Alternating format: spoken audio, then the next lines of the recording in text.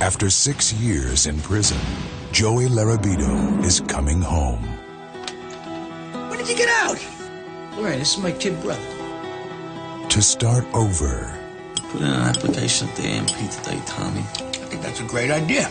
Yeah. You can make 50, 200, 300 dollars a day, no? Will you stop it? Maybe he wants to earn some honest money for a change. But life on the outside Cops was just here. No, no trouble. can be tough on the inside. And now, Joey, come on, take a ride. It's in the bag, Tommy. It's weed, all right? I could get sent back another eight years for what you got in that bag. trapped in his brother's world, Tommy, what did you do?